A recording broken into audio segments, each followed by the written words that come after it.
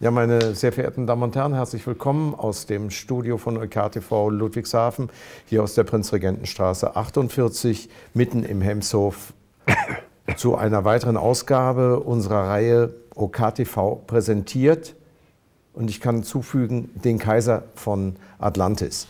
Der Kaiser von Atlantis, eine im Konzentrationslager Theresienstadt äh, entstandene Oper, die in Ludwigshafen anlässlich des 80. Jahrestages der Reichspogromnacht, als die Nationalsozialisten jüdische Synagogen anzündeten, Geschäfte plünderten und äh, damit auch die Ausgrenzung und die spätere Ermordung äh, der Juden in Deutschland begann. Und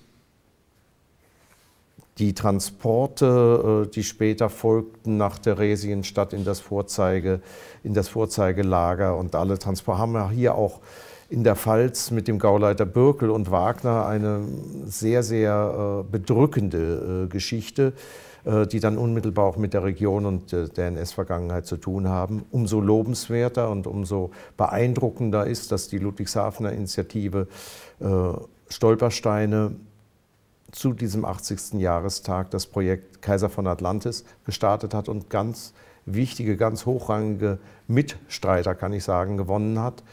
Und äh, in der Regie äh, von Hans-Günter Heime, äh, den ich ganz herzlich im Studio begrüße, Herrn Uwe Sandner, Generalmusikdirektor des Pfalztheaters in Kaiserslautern und die Staatsphilharmonie, die ebenfalls dazu beigetragen hat, eine Oper auf die Bühne zu bringen, die es sozusagen wirklich in sich hat, wo es einem heute noch ja, gruselt, erschreckt, aber auch mitreißt und von einer unglaublichen Menschlichkeit geprägt, einerseits aus der Situation, der Zeit, aber auch musikalisch äh, ja nach wie vor eine, ein sehr außergewöhnliches äh, Werk ist, was weit über die Bedeutung äh, dieses Augenblicks, dieses tödlichen Augenblicks in Theresienstadt hinausgeht, was äh, Ullmann und Kien, die beiden äh, Kien das Libretto und Ullmann äh, die Musik als, als Musiker und als Literaten da zusammen gemacht haben äh, in Theresienstadt, in diesem Konzentrationslager. Äh, Herr Sandner, als Sie gefragt worden sind, machen, wir, machen Sie mit bei diesem Projekt, was ist Ihnen da als, als Musiker, äh, der Sie ja Fleisch und Blut sind, durch den, durch den Kopf gegangen und wie, wie sind Sie darauf zugegangen, auf, dieses, auf diese Herausforderung? Das war eine riesengroße Freude und das ganze Projekt eine Herzensangelegenheit, äh, einmal wieder mit Hans-Günther Heime zu arbeiten. Das war die dritte oder vierte Zusammenarbeit, ne, die wir schon gemeinsam hatten. Ähm, dann der ganze äh, politische Kontext dieses Projektes und äh, die Beteiligung von so vielen Institutionen, Stolpersteine, Ludwigshafen, Staatsphilharmonie haben Sie erwähnt. Ähm, es ist mit drin die Musikhochschule Mannheim, dadurch, dass wir ein gemeinsames Opernstudio, das Pfalztheater Kaiserslautern mit Mannheim haben. Das heißt, äh, Staats, ja, habe ich erwähnt, Staatsphilharmonie. Ähm, und dadurch äh, bekam das Ganze eine äh, angemessene, äh, ein angemessenes Gewicht auch. Der Aufführungsort Resushalle, das, das extrem gut dazu passte, zu diesem Sujet. Sie haben aber nach der Musik gefragt und da ähm, äh, muss ich sagen, das ist sowieso die letzten äh, 10, 11, 12 Jahre ähm, die ich am Pfalztheater Kaiserslautern bin, ähm, ein, ein, Herzensanliegen gewesen, die sogenannte entartete Musik wieder auszugraben und vorzustellen. Es gab ja viele Komponisten, die äh, mit ganz vorne in der Avantgarde waren in den 20er Jahren, Anfang der 30er Jahren, deren äh, Lebenswerk im besten Falle Lebenswerk nur, äh, im schlimmsten Falle deren Leben äh, äh, von den Nazis dann jäh unterbrochen wurde und äh, die äh, hervorragende Werke geschrieben haben, die aber gar nicht bekannt wurden, weil dann skurrilerweise nach dem Krieg in den 50er Jahren gab es die neue Avantgarde und diese Komponisten waren dann künstlerisch out und insofern hat man die dann erst wieder in den 80er, 90er Jahren dann wieder entdecken können. Also ich denke an äh, Komponisten, die dann andere Betätigungsbereiche gefunden haben. Korngold zum Beispiel, äh, ein, ein Wunderkind, das äh, Werke geschrieben hat. Und, aber Korngold kannte man nach dem Krieg dann eigentlich nur als Filmkomponist. Er, war, er ging dann nach Hollywood. Aber auch Komponisten, die dann deren äh, Leben wirklich dann äh, zerronnen war und unbekannt geblieben sind. Schulhoff war einer, haben wir die Flammen gespielt. Ernst Krennig, der erste wieder in den letzten 20 Jahren, ähm, äh, 30 Jahren, äh, dann entdeckt wurde. Dann, da haben wir Johnny gespielt, aufgemacht. Und ähm, und eben letztlich dann äh, äh, Braunfels äh, und letztlich dann eben äh, Ullmann. Und das äh, äh, Werk fehlte eigentlich in dieser ganzen Reihe, weil das, wie Sie gesagt haben, ein Werk ist, das wirklich in einem KZ entstanden ist und die rekurrierte auf die Situation in dem, im KZ inhaltlich und dazu eben musikalisch viele Elemente der ähm, Avantgarde hatte, die dann von den Nazis als entartet dann gebrandmarkt wurden und eben verboten, verbrannt und äh, hingerichtet wurden. Also auch unter musikalischen Aspekten nach wie vor sehr aktuell und was wieder zu entdecken, äh, auch ja ein, ein sehr spannender Teil dieses, äh, dieser Inszenierung äh, war. Denn auch, äh, Herr Heime, inhaltlich äh, ist das ja auch keine Oper, die man heute nicht mehr spielen sollte, weil die Zeit darüber hinweggegangen ist, sondern ganz im Gegenteil. Wir haben einen neuen, äh, einen wieder aufkeimenden Faschismus. Wir haben wieder Rassismus. Wir haben wieder das, äh, äh, in, in unserer Gesellschaft, was auch damals mit dazu geführt hat, dass es zu einem KZ wie Theresienstadt und letztlich auch zu Auschwitz hat, hat kommen können. Und ihre gesamte künstlerische Arbeit ist ja nun auch maßgeblich in der Auseinandersetzung mit dieser menschenverachtenden Ideologie einzuordnen, hat Impulse, hat Impulse bekommen und Deswegen ist es ja eigentlich auch nur logisch gewesen, dass Sie auch sofort gesagt haben, bei diesem Projekt bin ich dabei. Ja, ich bin von dem Material also äußerst, äußerst äh, ergriffen, äh, ergriffen worden und äh, bin natürlich äußerst begeistert an diese Arbeit auch mit Herrn Sandner äh, äh, da rangegangen. Es ist eine große Gnade, das haben machen zu können. Also für mich war das ganz, ganz tolle Arbeit. Die, die, die Arbeitskonstellation war sehr, sehr günstig, auch durch diese Zusammenarbeit äh, mit dem Opernstudio in Mannheim oder dem, dem, dem Studio, was Kaiserslautern ja äh, an der Oper verbindet, mit der Musikhochschule in Mannheim und mit Ihnen als Dozenten. Dadurch hatten wir eben auch eine, eine Sängerqualität, eine jungen, junge Garde von Sängern äh, zur Verfügung, was ganz selten so, so, so toll war. Äh, also für mich auf jeden Fall als, als, als, als stimmliches, aber auch menschliches Material, in Anführungszeichen, ist ja ein furchtbares Wort für die darstellenden Künstler. Aber es waren eben auch keine ursprünglich Deutschen, sondern waren zwei Koreaner, zwei Chinesen, eine, eine mexikanischstämmige und ein polnischstämmiger, jetzt Deutscher. Äh, diese sechs jungen Menschen haben dieses, äh, dieses Material erarbeitet, dieses in, in einem KZ entstandene und auch in einem KZ durch die Inszenierung spielende Material. Und das war für mich als Reichsdeutschen Deutsch-Deutschen, ja, der ich das ja bin, äh, natürlich eine einmalige Gabe auch, ja, die, die da an, an, an uns äh, durch Sie oder durch das Theater in Kaiserslautern herangetragen worden ist. Das war besonders besonders gravierend, weil, weil es eben äh, nicht durch Deutsche dargestellt wurde, was, was in unserer Vergangenheit so grausam, so furchtbar war und jetzt wieder so äh, nicht nur in Deutschland äh, äh keimt und blüht und droht und äh, grauenvoll äh, am Horizont da aufflammt sondern das eben dargestellt worden ist durch Menschen, die jetzt zu uns kommen wollen oder gekommen sind oder äh, in Zukunft auch äh, kommen, bitte sollten, dürften. Äh, toll wäre es, wenn es so von uns eben auch so aufgenommen würde.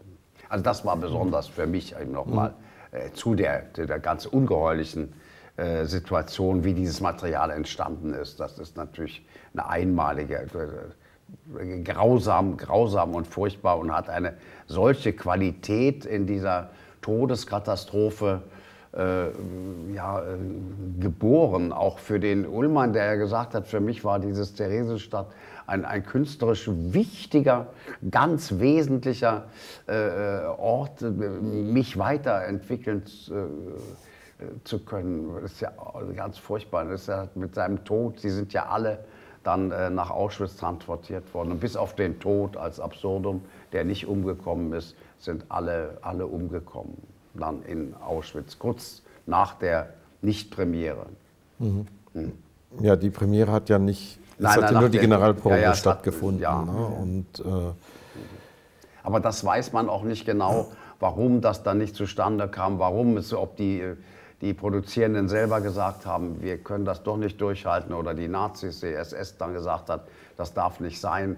Das war ja auch eine sogenannte Mustervorstellung, die dem, die dem äh, Internationalen Roten Kreuz vorgestellt werden sollte, wie human doch oder wie, wie pro künstlerisch äh, hier Juden äh, zu ihren Aktivitäten, ihren künstlerischen Qualitäten äh, in Theresienstadt geführt werden konnten und wie sie sich äh, produzieren konnten. Das sollte dargestellt werden eben vor einer Kommission des Roten Kreuzes. Ja. Das war ein sogenanntes Hitlers Muster-KZ und die äh, kamen natürlich genauso dann um wie in anderen KZs alle danach. Aber das kam ja eben nicht zustande, diese Vorstellung.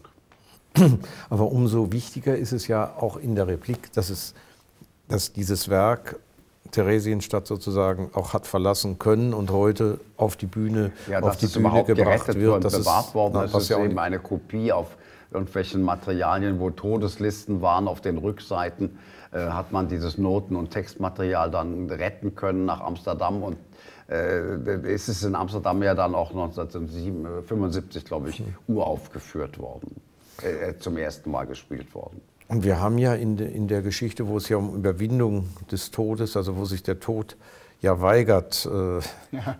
Sein, sein Geschäft zu vollbringen, weil das von ihm verlangt wird. Äh, und erst als der Protagonist, der ja eigentlich obwohl die Hitlerfigur darstellte, äh, selbst äh, sagte, ich, ich sterbe, war der Tod wieder bereit einzutreten.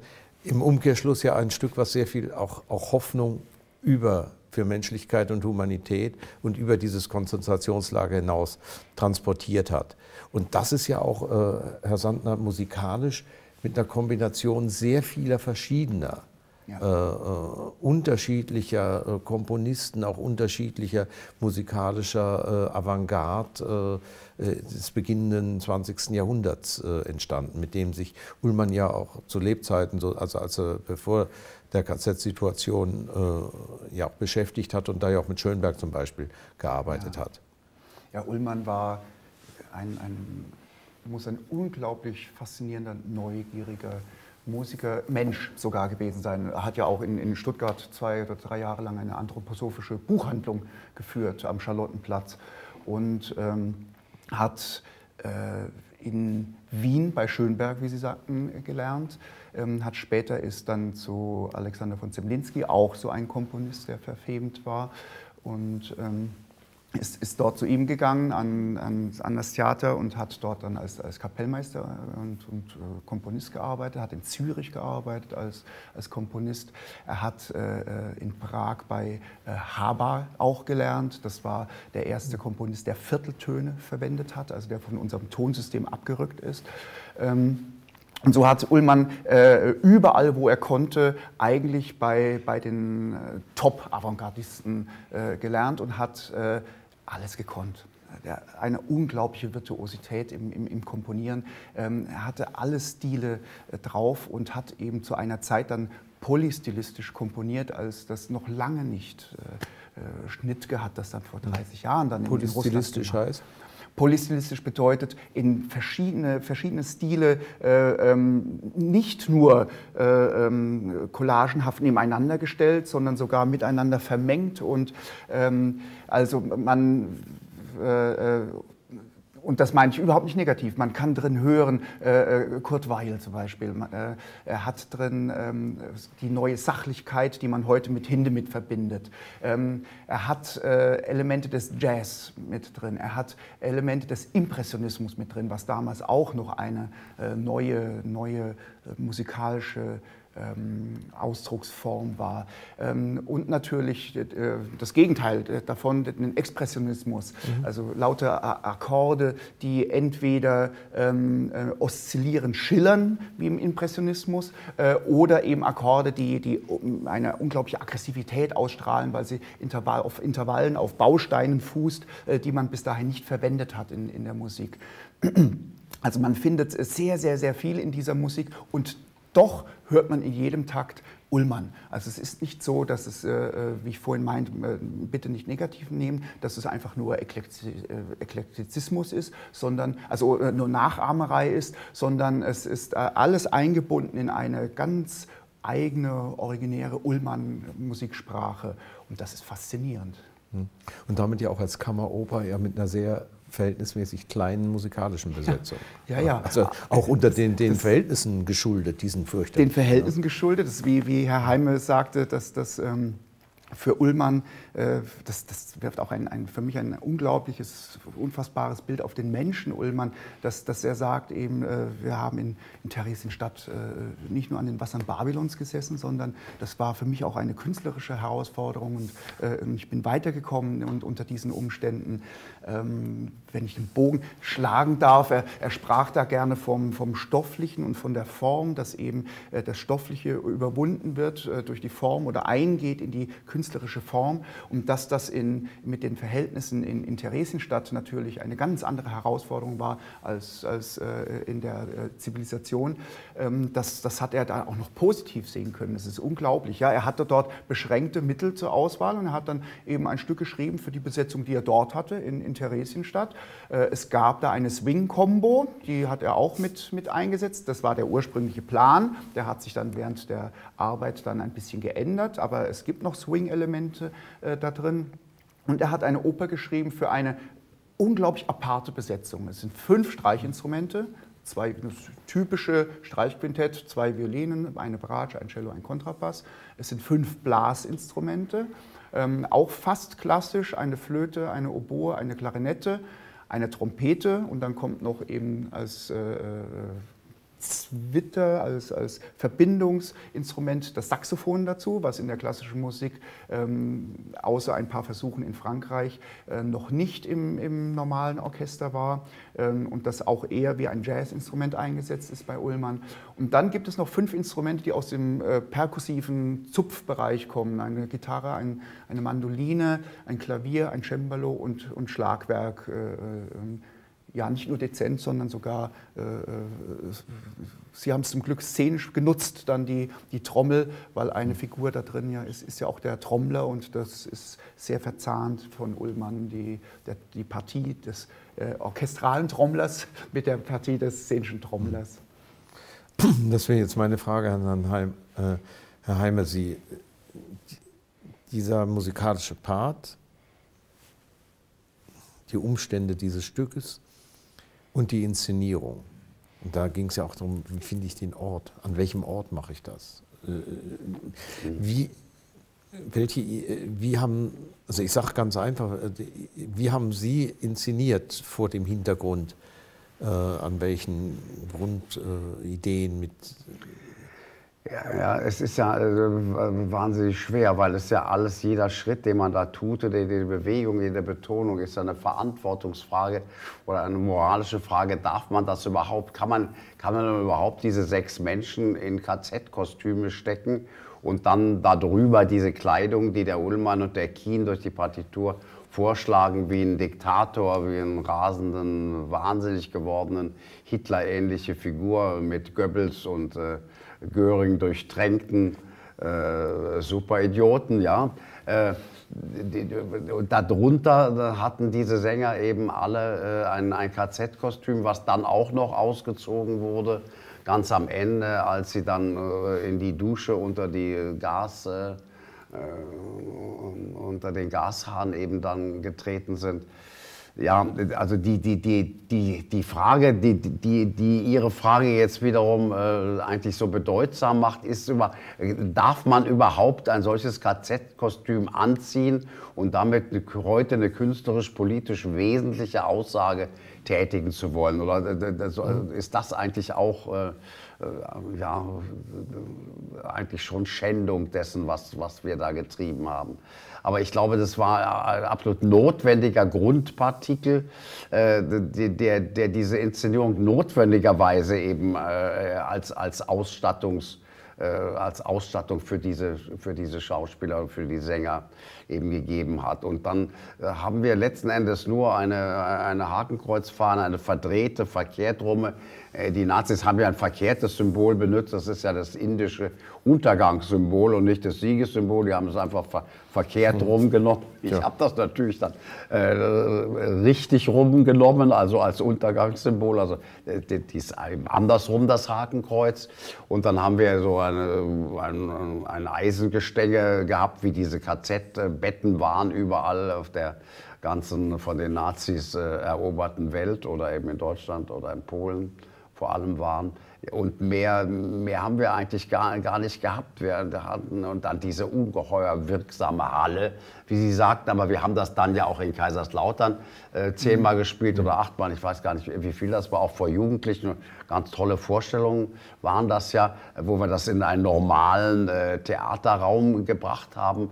Und äh, das hatte natürlich dann nicht diese, diese, diese, ja, diese grauenvolle Opulenz dieses Betondrecks dieser Halle in Ludwigshafen, aber hatte natürlich wieder andere Vorteile, dass die Akustik da wahnsinnig toll war, die aber wiederum in dem Film jetzt auch so toll ist, weil wir natürlich die Mikrofonierung, die wir ja, da hatten, äh, ist natürlich auch besser als das Live in Ludwigshafen war. Aber wir waren richtig erstaunt, dass das auch im Theater funktioniert hat. Ja, aber es hat das so toll in, in ja. Kaiserslautern auch äh, absolut das, toll funktioniert. Hätte, also ja, also das ist, ist die Frage. So, dass, ich glaube, dass man kam da überhaupt nicht drum. Es war selbstverständlich, dass man, dass man diese Grundsituation, wie das entstanden ist und mit wem und durch wen und auch für wen, äh, für diese Jüdi äh, jüdischen Zuschauer, eben Zuhörer, Leidenden, Verurteilten, Todesbedrohten, aber eben auch für die beobachtende SS oder für das sogenannte Rote Kreuz, was ja äh, da äh, auch sehr, sehr, äh, naja, durch die Schweiz auch sehr rechtslastig angehaucht war. Sonst hätten die ja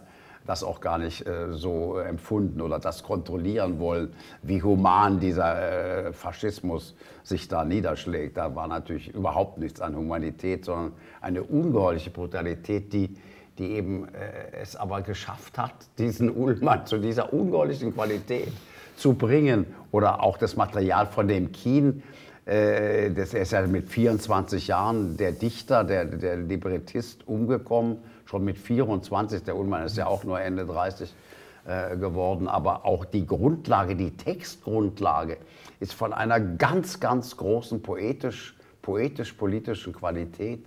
Äh, die, die, die, da sind viele äh, Partikel von dem Kien eben eingeflossen, Gedichte, äh, Textstellen, die es schon gab, die dann mhm. in diese Partitur gekommen sind. Bei dem Ullmann war das ja nicht so. Ne? Diese Musik ist wirklich hat er, nicht, hat er was verwendet, was es vorher von ihm schon gab und dann da eingebaut? Teilweise. Wirklich? Teilweise, ja, ja. Er hat zum Beispiel ähm, das, was Sie immer so lieben, das Intermezzo, diesen Totentanz. Ach, das ist das ja ist wahnsinnig. Ja, der ist ein ungeheuerlicher Totentanz. Das ist eigentlich aus der fünften Klaviersonate, Ach, hat er das genommen. Und er hat... Ähm, die Arie des, des äh, Diktators am Ende. Das war eigentlich vorerst in einem anderen Projekt geplant, äh, von dem ich jetzt den Titel nicht, nicht weiß. Ähm, also der Ullmann hat durchaus auch zurückgegriffen auch, auch, auf, auf, auf andere Bausteine. Ja. Ja. Also es Aber es ist so ein, ein, ein, ein, dieses ganze Opus ist ja genau eine Stunde lang, bei uns eben auch eine Stunde geworden es ist eine große, große Qualität, neben aller äh, politischen, äh, ja, auch äh, menetekelhaften und heute natürlich äußerst, äußerst brisanten äh, ja, auch, auch von der Musik her, das ist ja eine Musik, die, die haut einen um. Also das ist ja auch das ist ja zum Mitsingen alles eigentlich so toll. Ein Schlager am anderen. Ja, neben aller, neben aller äh, musikalischen Krass, Krassheit auch. Es ist wirklich ein großes Opus. Die, die Hoff, also für mich, damals, als wir das aufgezeichnet haben mit, mit dem Team von OKTV Ludwigshafen, und ich das erste Mal gesehen habe, weil es ist bedrückend, aber es ist auf der anderen Seite auch sehr ja, menschlich selbstbewusst äh, und damit auch Perspektive gebend. Eigentlich dieses, dieses KZ-System, diese Macht über den Tod oder die, die, dieser, äh, die, diese, dieser faschistischen Ideologie brechend. Und, äh, es ist eben sehr kräftig. Ne? Es hat Kraft. Ist, es hat enorme ja. Kraft. Und die Musik. Ich wollte das nur noch so. Ja. Es ist ja das furchtbares so, Wort, diese, dieses Kraft, das ist ja so ein Vokabel mhm. im Dritten Reich, was weiß was. Aber das hat eine irrsinnige Kraft, auch durch die Behauptung eben, wenn die Juden die Kraft haben, äh, zu ihrem eigenen Tod zu finden, dann überwinden sie eben den Faschismus.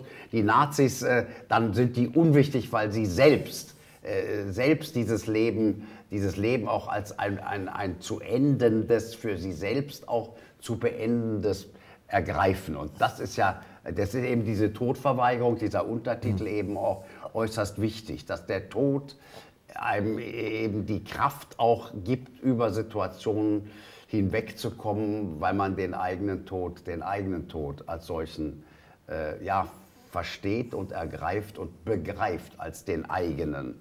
Und dann kommt man natürlich äh, äh über das Grausamste in irgendeiner Weise hinweg. Und deswegen gibt das, hat das so eine hm. Kraft, dieses dieses äh, Projekt, ja, meine ich. Nicht was wir da, sondern was da steht in den Noten und in den, in den Worten. Herr Sandmann, was meinen Sie denn, was diese Musik, äh, gerade auch, auch diese Form, die Ullmann äh, gefunden hat, äh, mit den gesamten, äh, mit diesem Hintergrund, über den wir vorhin gesprochen haben, ja jetzt heute noch relevant, äh, heute noch relevant, was kann was können Sie, was kann Opernmusik, was können die Orchester äh, sozusagen heute noch aus diesem äh, äh, sehr ungewöhnlichen, beeindruckenden Stück auch an eigener Kraft ziehen? Ja, dadurch, dass er eben so viele verschiedene Elemente verwendet, ist das immer eine Herausforderung, dieses äh, schnelle Umschalten und, und auch den Ullmann-Ton äh, zu treffen. Also es gibt durchaus Dinge, die, äh, mit denen Musiker gewöhnt sind, umzugehen oder Sänger. Es gibt äh, für jeden Darsteller gibt es ein Motiv, das Ullmann verwendet. Das äh, könnte man Leitmotiv nennen. Äh, es wird nicht ganz so eingesetzt in dem Sinne, wie, wie der Richard Wagner, der das erfunden hat, dieses Leitmotiv, ähm, eingesetzt hat. Aber damit ist zum Beispiel jede Figur charakterisiert mit einem, einem bestimmten Motiv. Die Motive äh, sind wunderbar auf die Charaktere hin erfunden. Also wir haben ein, ein, sehr, äh, ein Motiv ähm, für den Harlekin, äh, eine Figur, die gleichzeitig äh, lachen und weinen kann. Und dieses Motiv ist äh, äh, unglaublich widerspenstig im Metrischen. Es sind lauter drei Achtelgruppen, aber in einem Viervierteltakt. Das heißt, äh, es ragt immer ein Ende darüber hinaus über den Taktstrich oder eines Be Be Beginn vorher. Ähm, es kann sich überhaupt nicht entscheiden in der Richtung. Es, es, es, tändelt mal nach oben, mal nach unten. Es hat verschiedene Artikulationen. Das heißt, äh, es, äh, mal sind drei Noten gebunden und dann kommen mal wieder drei, vier gestoßene Noten. Ähm, also voller Überraschung, dieses Harlequin-Motiv. Oder nehmen wir die äh, Figur des Bubikopf, das ist eine, eine weibliche Figur, das ist ähm, eine Kämpferin, eine Soldatin, äh, die äh, für Bass erstaunt ist, dass es etwas anderes gibt als äh, Landschaften zerklüftet von Granatentrichtern, dass es Worte gibt, die nicht kläffen ähm, und dass es eben so etwas wie Liebe vielleicht geben kann. Ähm, äh, äh, da klingt das Motiv plötzlich wie, wie, wie aus einer Puccini-Oper, äh, flexibel und geschmeidig und, und lyrisch und, und, und sofort ans Herz gehend ähm, und so weiter und so fort. Das ist die, die, die, die eine Sache, die äh, ähm, auch für jeden Zuhörer äh, sehr ohrenfällig wird. Äh, dann gibt es ähm, äh, Momente, die sind äh, richtig wie in einer normalen, auch romantischen Oper komponiert, wo sofort der Affekt, der auf der Bühne, der im Text sich transportiert, der sich situativ durch das Geschehen, Bühnengeschehen transportiert, sofort in der Musik auch da ist. Also sehr gestische Motive, ruppig auffahrende Streicher, ähm, ähm, brüllende Bläserakkorde, wenn etwas Schreckliches verhandelt wird, wenn der Tod sein ein äh, Schwert äh, zerbricht, ähm, dann, dann, dann gibt es einen, einen, einen harten Schlag, einen hölzernen, knöchernen Schlag im, im, im Schlagwerk, solche Sachen. Aber dann gibt es auch Sachen, die sind ähm, äh, sehr vorne in seiner Zeit damals, eben 1943, 44. Äh, das äh, Intervall, also der Tonabstand, auf dem diese Oper gebaut, aufgebaut ist, ist der, ähm, das äh, hässlichste Intervall eigentlich. Und äh, äh, es war jahrhundertelang den Komponisten verboten, dieses Intervall zu benutzen. Und wenn dann nur unter bestimmten Voraussetzungen, unter bestimmten harmonischen Auffangregeln. Ähm, und äh, das ist der Tritonus. Äh, das ist äh, genau in der Mitte einer Oktave, das Ba, Ba. Und dieses Ba, Hallo, Hallo, mit der die Oper beginnt, sind eben zwei Tritoni, die übereinander äh, gesetzt sind. Ähm, und das Tolle ist jetzt, dass damit äh, Ullmann strukturell weiterarbeitet, nämlich äh, setzt man dann noch einen dritten Tritonus hinein. Dann hat man plötzlich, wenn man die Töne hintereinander singt und nicht in Abständen von Tritoni, hat man plötzlich eine Ganztonleiter. Und die Ganztonleiter ist wiederum, was ich vorhin sagte, ein beliebtes Stilmittel für den Impressionismus. Ähm, aber er verwendet dann nicht nur die Ganztonleiter, sondern er verwendet auch äh, das Intervall, aus dem der Tritonus hervorgegangen ist, äh, ist eigentlich die Quarte. Wenn man also diesen, den oberen Ton, einen Halbton nach unten versetzt, hat man eine Quarte. Und da sind wir bei Arnold Schönberg. Die Quarten in seiner Kammersinfonie äh, war damals ein, ein, ein, kleiner Skandal, dass, dass das Stück von Schönberg dann nicht mehr auf reinen Terzen aufgebaut ist, wie man das vorher gewöhnt war, sondern plötzlich das Thema nur auf Quarten gebaut war. Und bei Ullmann gibt es viele, viele Akkordkonstruktionen, die nur auf, auf Quarten aufgebaut sind. Ähm, alles mal jetzt so, so ein paar, paar äh, technische Dinge. Mhm. Ähm, die, die ungeheure äh, Kraft die, und auch den, den, Humanismus, den Sie ansprechen, der hat vielleicht auch noch damit zu tun, ähm, dass, dass äh, so einige Zitate in dem Werk vorkommen ähm, gleich zu Beginn, wenn der Trommler, der Propagandist, der, der, der Goebbels auftritt, äh, da ähm, wird die Nationalhymne zitiert, allerdings nicht in normalen Tongeschlecht, in Dur, äh, sondern in Moll oder sogar ganz genau gesagt, äh, sie wird hineingeschmissen in eine alte Kirchentonart, in das Phrygische, die wie Moll klingt. Und ähm, und äh, dadurch wird diese äh, Hymne verfremdet. Aber der Wiedererkennungswert ist natürlich da. Man kann sich gleich, gleich daran äh, äh orientieren. Ähm, oder er zitiert, das ist äh, weniger ohrenfällig, ähm, äh, Volkslieder. Schlaf, Kindlein, Schlaf zum Beispiel, aber dann nicht mit drei Ganztönen Schlaf, Kindlein, Schlaf, sondern mit drei Halbtönen Schlaf, Kindlein, Schlaf. Und, und dadurch ist das etwas äh, äh, verfremdet, aber man, man, ist, man, man fühlt sich heimisch. Also man, man äh, hat einen Anknüpfungspunkt als Hörer, auch wenn einem das vielleicht gar nicht äh, bewusst wird. Ähm, und natürlich ganz prominent, und das macht eben das Ende, wie Sie vorhin sagten, so fast, äh, es, es, passiert Schreckliches und trotzdem fühlt man sich äh, aufgehoben in der musikalischen Form. Er zitiert nämlich da ein feste Burg, den Choral ähm, teilweise sogar äh, in nicht mal verfremdeten Harmonien, ein bisschen verfremdet. Und dann spielt immer nur das Harlequin-Thema äh, da, da kurz hinein. Aber das, das strahlt eine unglaubliche Ruhe und, und Geborgenheit und äh, ähm, ähm, Gelassenheit angesichts des, des Todes äh, äh da. Und das äh, tröstet einen irgendwie dann auch äh, rein musikalisch über das schreckliche Geschehen auf der Szene hinweg. Mhm.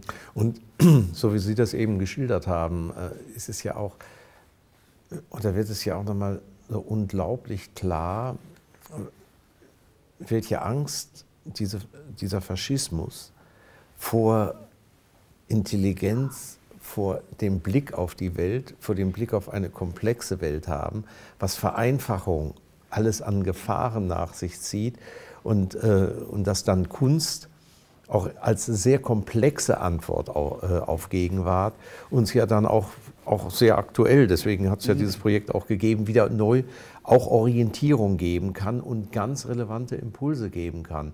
Das war für mich eines der zentralen Aspekte neben dem, neben diesem musikalischen oder auch, äh, ich sag mal, äh, theaterästhetischen Erlebnis auf der Bühne in, in dieser Halle. Aber, und das kombiniert mit diesen Inhalten ja natürlich auch eine wichtige Inszenierung äh, und ein wichtiges Werk, gerade in unserer Zeit, in unserer Zeit darstellt. Das war nichts, was von gestern war, sondern das ist was, was im Heute ist, war äh, künstlerisch wie äh, politisch. Es ist eine ungeheuerliche Sehnsucht nach Leitplanken da, im positiven Sinne. Das Wort Leitplanke kann natürlich auch wieder hm. also äußerst negatives sein, diese Autobahnen denken und sowas. Aber, aber es ist äh, bei aller Katastrophe dessen, was sich politisch in Europa im Moment so abspielt, ist eine ganz große, auch bei den jungen Menschen, eine, eine, eine Sehnsucht da, äh, eine, eine, eine Sicherheit, aber nicht Abgesichertheit im ökonomischen Sinne, sondern im, im wirklich, im, im, dieses Leben nicht zu zerleben und einfach nur dahin zu leben. Und, und diese Sehnsucht nach einem Halten, nach einem System, was einen hält und den anderen äh, vereinnahmt im positiven Sinne oder mich überhaupt auch mit mir selbst äh, äh in Kontakt kommen lässt, mit mir selbst, ich mit dem anderen in Kontakt diese Sehnsucht ist, glaube ich, riesig. Und diese, was Sie da beschrieben haben, das ist, glaube ich, wirklich in dem, in dem Stück da. Das ist, man geht da raus und, und natürlich kaputt mit dem, äh, dessen, was wir da getrieben haben, aber mit einer, ja, äh, gestärkt, oder? Gestärkt, äh, meine ich, im, im, im, ja, im, im positiven Sinne. Und das passiert einem nicht oft in, äh, im Theater. Also jetzt von, vom Material her. Eine Aufführung kann mal gut oder mal schlechter sein. Das ist, aber vom Material ist das so ja, das ist kräftigend, ja, das oder? Tolle, dass, wie Sie sagen, es ist hochkomplex eigentlich. Ja, aber so in der super. Wirkung äh, so äh, ja, klar und so einfach und so, so äh, ähm, also es macht Komplexität sinnlich. Und das mhm. ist das äh, Tollste, was, was in, in, in, der Kunst passieren kann. Dass man eben Komplexität sinnlich erfahren kann, ohne äh, ähm, dass man unbedingt jeden Schritt jetzt gedanklich nachvollzogen haben muss. Und das ist genau das, wie Sie gerade erwähnt haben, was, was natürlich auch äh, ähm, äh, sehr einfach denkenden Menschen, was faschistisch denkenden Menschen, äh, was, was Vereinfachern Angst und Sorge macht, weil äh, äh, äh Komplexität äh, ähm, plötzlich eben erfahrbar wird. Und das ist, das ist gefährlich. Oder wie, wie Konstantin Becker, der Schirmherr dieses Projektes, sagt, eben, Poesie ist, ist gefährlich für, für diese ja, in der Mehrheit halt rechten Politiker, die, die in ganz, ja. ganz klaren, einfachen Bildern äh, sich gerne austoben. Ja, deswegen sind wir froh. Und auch nochmal an Sie beide herzlichen Dank. Nicht nur, dass Sie heute bei uns waren, sondern dass es auch möglich war, eine Fernsehfassung aus den Aufführungen zu machen, dass es diese Oper auch im Fernsehen und in den Medien geben wird, nicht nur in Ludwigshafen, sondern auch noch in anderen Bürgermedien der Republik, dass ganz viele Menschen all das, über das wir gesprochen haben, dann auch sinnlich erfahren können und äh, hoffentlich auch dann diese Botschaft, die damit verbunden ist, aufnehmen und auch weitertragen. In diesem Sinne, meine Herren, vielen Dank, dass Sie da waren und äh, ich freue mich auch auf die weitere Zusammenarbeit, die hoffentlich auch über dieses Stück hinaus in diesem Geiste äh, eine Zukunft hat und auch ganz wichtig ist, glaube ich, als Orientierung in dieser Zeit. Ja, vielen Dank für das Gespräch. Ihnen Danke. herzlichen Dank.